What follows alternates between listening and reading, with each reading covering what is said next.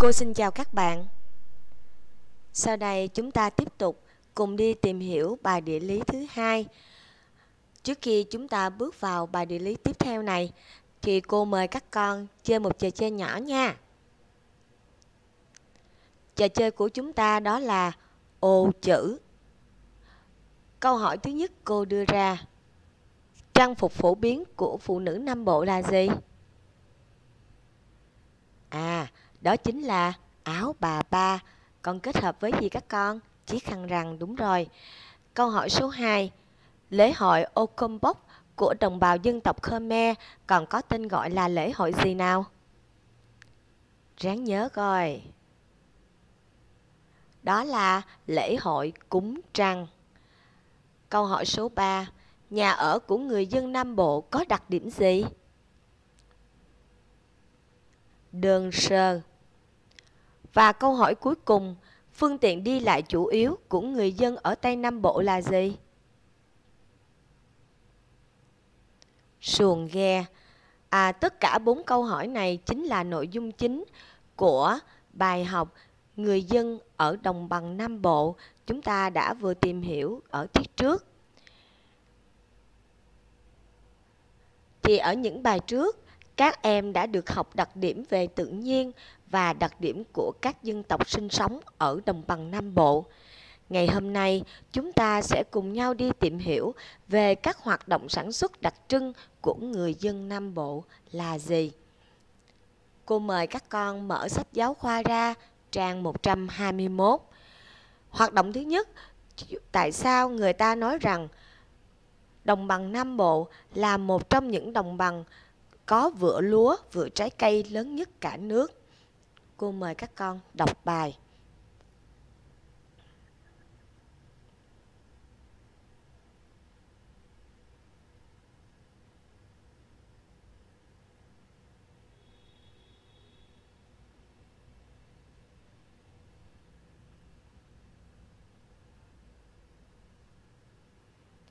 Vậy thì các con thấy rằng dựa vào những đặc điểm về tự nhiên của đồng bằng Nam Bộ thì những cái điều kiện thuận lợi để đồng bằng Nam Bộ trở thành vựa lúa, vựa trái cây lớn nhất của cả nước.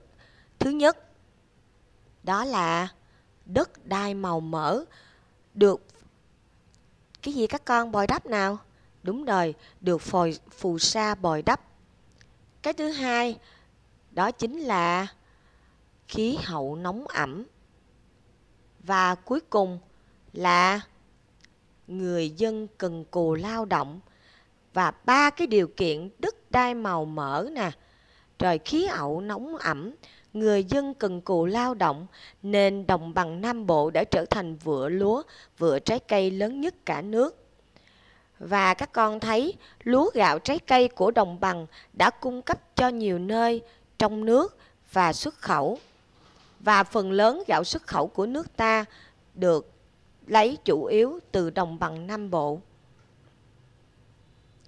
Sau đây cô đưa ra cái quy trình của việc sản xuất lúa gạo. Hình ảnh số 1, đây là hình ảnh người dân đang gì các con? Đang gặt lúa.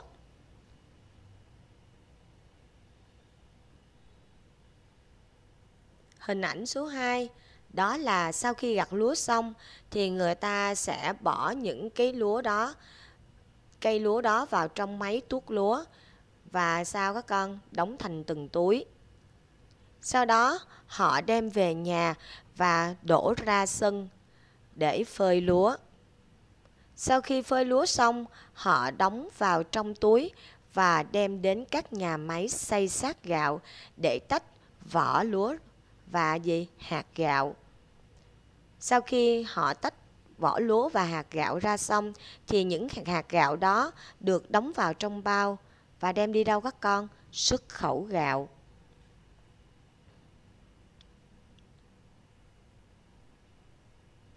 Vậy thì quy trình thu hoạch và chế biến gạo xuất khẩu. Một, cắt lúa. Hai, tuốt lúa. Ba phơi lúa và bốn chúng ta tới gì các con à, tới nhà máy xây sát gạo và đóng thành phẩm để đem đi xuất khẩu thì bên cạnh là một vựa lúa lớn thì ngoài ra đồng bằng Nam Bộ cũng là một vựa trái cây lớn nhất cả nước. Các con thấy rằng vùng miền Nam của chúng ta thì sao các con? À, trái cây rất là nổi tiếng, phong phú, rất là nhiều. Và các con thấy là trái cây có quanh năm, mùa nào cũng có gì quả đó. Cô giới thiệu sơ nét một số loại quả rất quen thuộc với các con. Đây là quả gì các con biết không? Quả dâu nè, quả sầu riêng nè, rồi quả xoài nè, quả bưởi nè, quả mít nè, rồi là gì các con? Quả dừa, vân vân. Còn rất rất là nhiều các loại trái cây khác, nhưng cô chỉ đưa một số cái hình ảnh tiêu biểu để minh chứng cho việc thấy rằng là ở vùng đồng bằng Nam Bộ thì trái cây vô cùng phong phú và nó cũng là một trong những cái đặc điểm nổi tiếng của vùng đồng bằng Nam Bộ. Tiếp theo thì cô nhắc lại, nói rằng vựa lúa, vựa trái cây lớn nhất của cả nước, điều kiện của nó là nhờ có đất đai màu mỡ, khí hậu nóng ẩm, người dân cần cù lao động. Và lúa gạo trái cây ở đây không chỉ cung cấp nhiều nơi trong cả nước mà nó còn được đem đi xuất khẩu. Tiếp theo, cô có hình ảnh sau.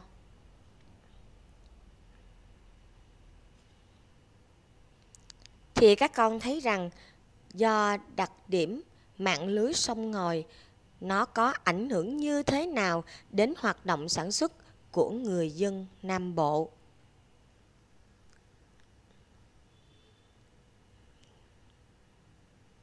Đó là câu hỏi cô đưa ra sau khi các con đã quan sát bốn hình ảnh mà cô vừa trình bày dưới đây.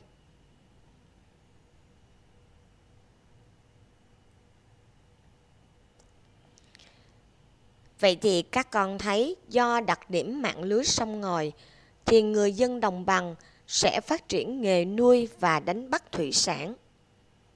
Chưa? Và ở đây người ta phát triển mạnh việc xuất khẩu thủy sản. Đó là các loại gì các con? À, đó là cá ba sa nè, tôm.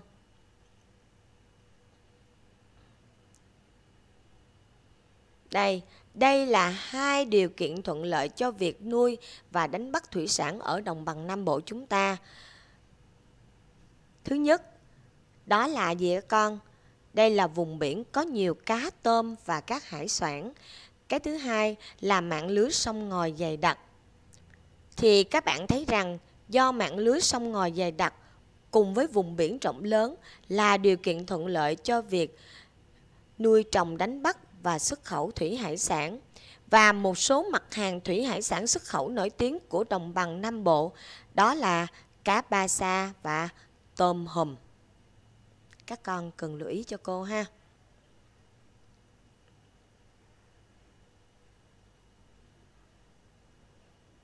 Ở phần 2 chúng ta tìm hiểu đó là nơi nuôi và đánh bắt nhiều thủy sản nhất cả nước. Thì điều kiện ở đây cô đã nhắc vừa rồi các con đã tìm hiểu thông qua các bức tranh. Cô không nhắc lại nữa ha. Nói tóm lại, hoạt động sản xuất của người dân ở đồng bằng Nam Bộ. Do nhờ thiên nhiên ưu đãi, nhờ người dân cần cù lao động nên đồng bằng Nam Bộ đã trở thành vùng sản xuất lúa gạo, trái cây, thủy sản lớn nhất cả nước. Bên cạnh đó, các sản phẩm đó không chỉ đi tiêu thụ ở trong nước mà còn được xuất khẩu nữa các con.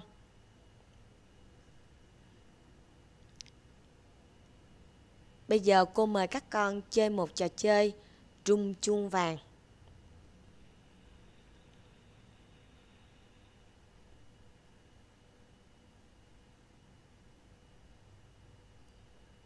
Câu hỏi số 1 Gia cốc mà bọc trứng gà Mở ra thơm phức Cả nhà muốn ăn Là quả gì nào? Đó chính là quả mít. Câu hỏi số 2. Sông không đến, bến không vào, lơ lửng giữa trời làm sao có nước. Là quả gì vậy? Đọc kỹ lại một lần nữa nha.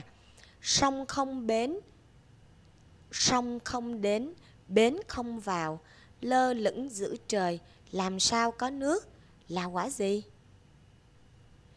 À, cái quả rất quen thuộc với các con, mà quả này khi uống nước vào rất là mát.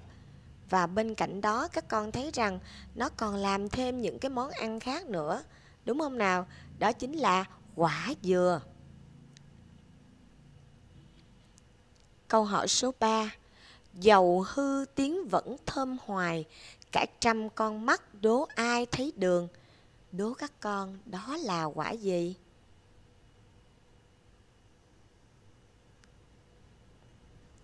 À, thì ra là quả thơm hay còn gọi là gì các con?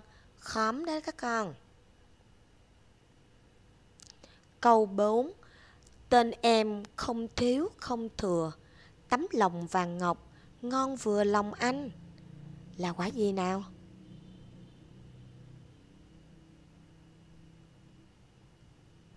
Đó chính là quả đu đủ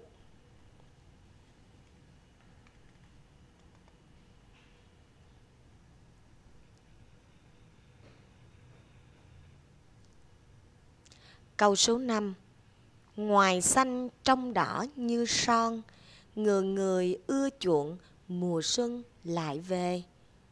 Là quả gì nào?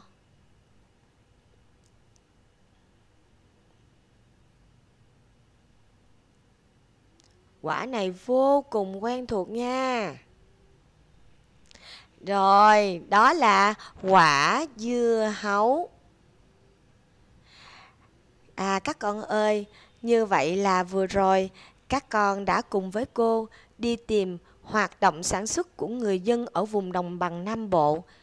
Các con hãy nhớ kỹ cho cô, tại sao người ta nói rằng vựa lúa vựa trái cây của vùng đồng bằng Nam Bộ là một trong những vựa lúa vựa trái cây lớn nhất của cả nước và điều kiện nào đã tạo nên điều đó.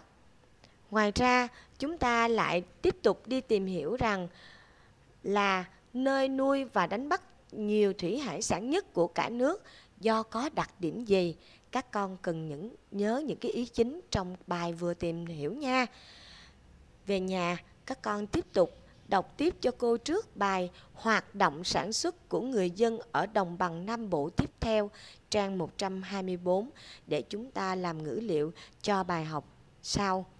Chúc các em học giỏi chăm ngoan. Cô xin chào tạm biệt.